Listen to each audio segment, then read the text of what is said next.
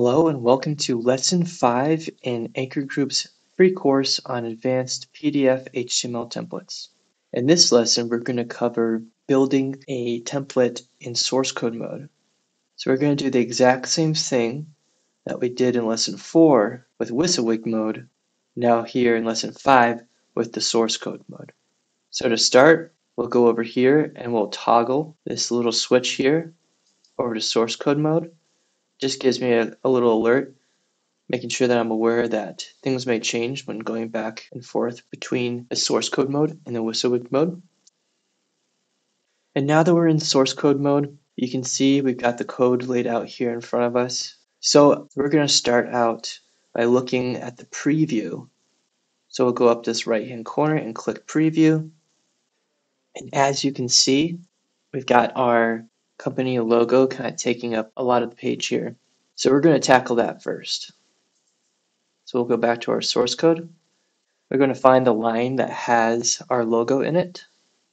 And you can use Control F to search for the word logo. So let's do that now. Control F, we'll type logo. And here this looks promising on line 19. Let's start by changing the style here. So as you can see, it says style, float left margin 7 pixels. I'm just going to get rid of that margin and I'm going to add in width and let's add 160 pixels for that. And let's add in some height. And for that, let's add 95 pixels. Okay, now let's see what it looks like now we've made those styling changes. There, that looks much better. All right, now that we've got that, let's double check our invoice to make sure it's showing up correctly there. So if you remember what we do there is we go back to our template. We're going to hit save and edit here. And then we're going to go to our invoice. I have it open up in another tab. So go to that tab. We'll use this print drop down. Click print. And there you go. looking good.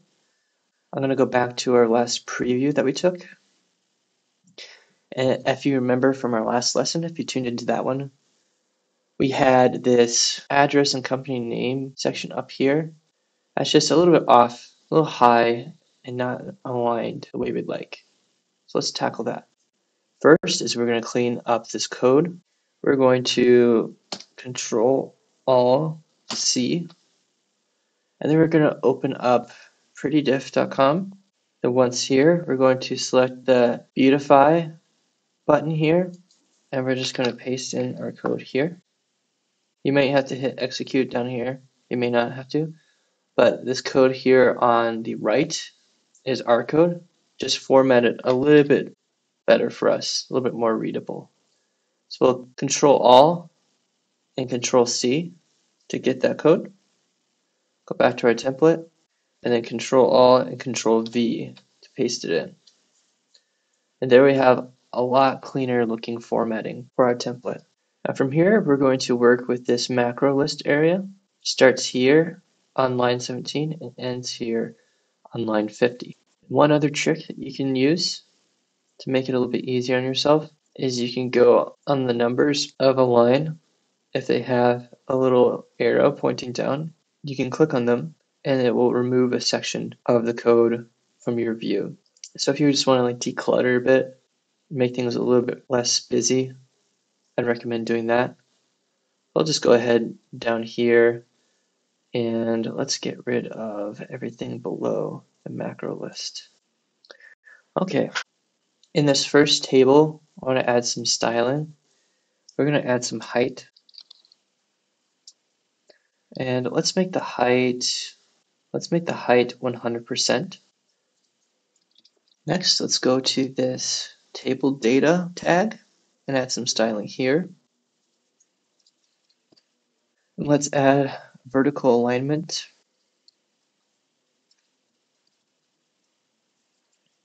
Let's make that be top. And let's do text align Let's make that be left.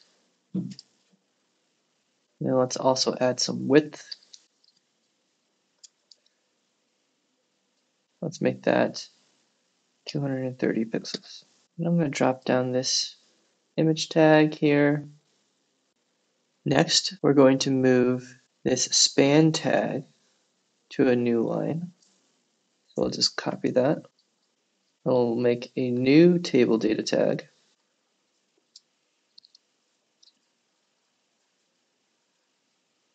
And this is where we're going to keep that code that we just copied. If you remember from our last lesson, we wanted to split the company name and address from the table data that the logo was in so we can work with them more autonomously from each other. Inside this table data opening tag, we're going to add a row span. And that's going to be 3. Gonna add some styling. Let's do some width. Let's make the width 206 pixels. And then we're going to add some breaks in here to drop this information down on the template. For that, we'll do br space, then forward slash. And we're going to do two of those, of two breaks. And then this is where we're going to add in our hyperlink to the company name. For us, we're going to use our anchor group company website. So for that, we're going to add A tag here, add href. And then we'll add the target. We're going to leave that blank. We'll put close. For this next part, we're going to take this span tag right here, and we're going to add it in. So we'll do Control X, Control V. All right, so that section looks good. Moving on to the next section. Here we have another table data. And we're going to add some styling to this opening TD tag. I'm going to give it a width of 366 pixels. That looks good there. Moving on to the next section. We're going to do the exact same things. I'm just going to copy and paste this here. That section looks good. Moving on to the next section. And we're going to do the same exact thing here as well. So we'll just paste in there. Now we've made those edits, let's go ahead and preview how things are looking. So it's giving us an error alert here. Let's click on the details. Syntax error in template. Okay. And I know exactly why this is whining at us. And this is probably the biggest con of using the pretty diff text formatter. It will sometimes get rid of spaces in if tags. So that's one thing we'll want to do is to make sure that these spaces that were eliminated get added back in. As you can see up here, this if.local, there needs to be a space in between the if and the dot. And then we also have our else if statements. Now let's use Control F and try to find the rest of the if tags.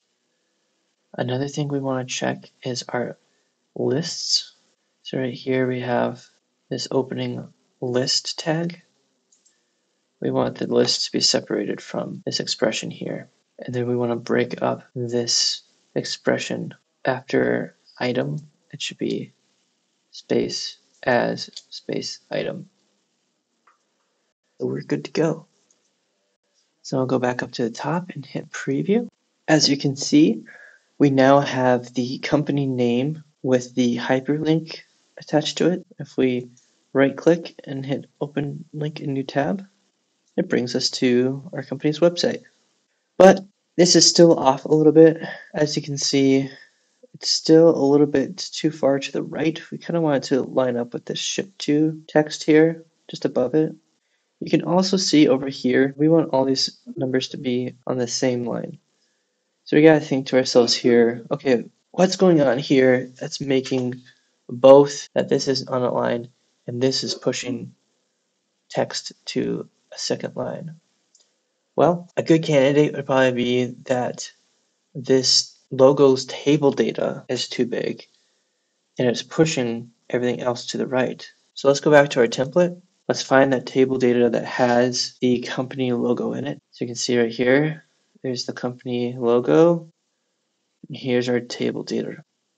And inside this tag, we're going to go to width. And for width, I'm going to put 190. So we'll hit preview. And there we go. That looks so much better. That text is now aligned and the numbers underneath the invoice text are not going to that second line.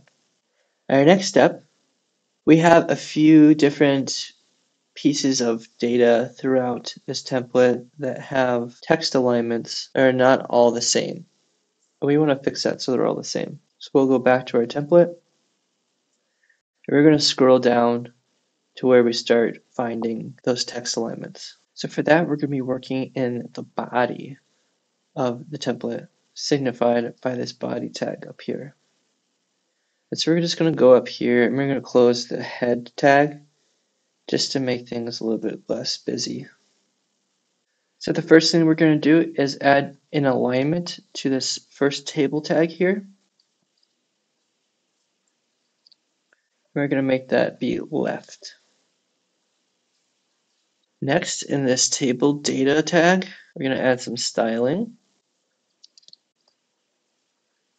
We're going to do a text dash align and make that left as well. We're actually going to reuse this same bit of text a number of times. I want to copy that. So I'm going to go ahead and do all of these real quick.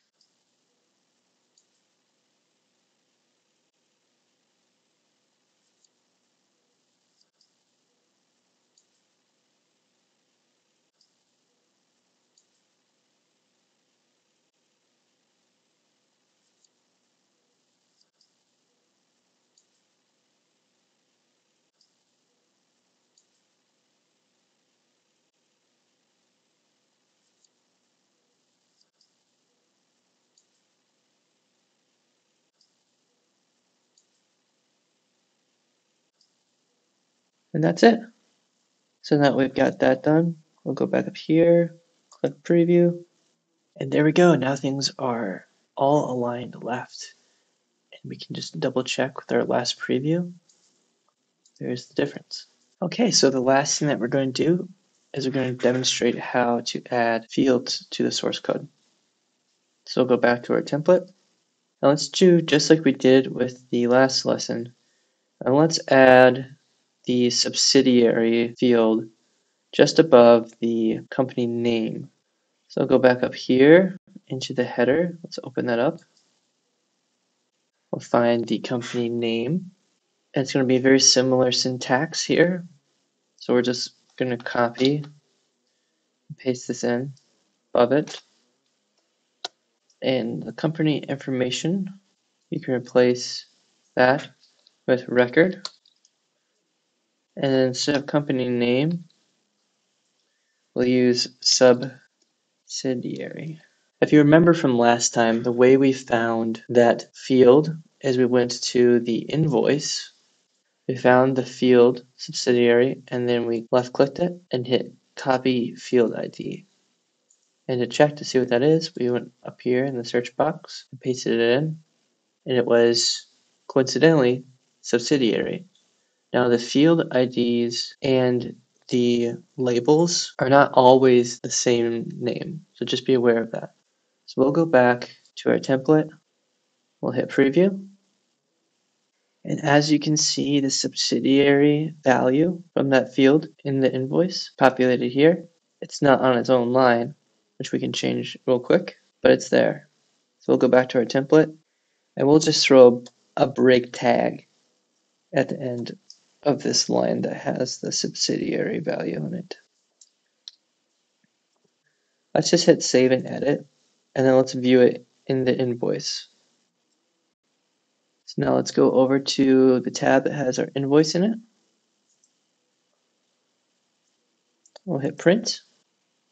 And there you can see that subsidiary value from the invoice. Parent company is populating there. You can double check.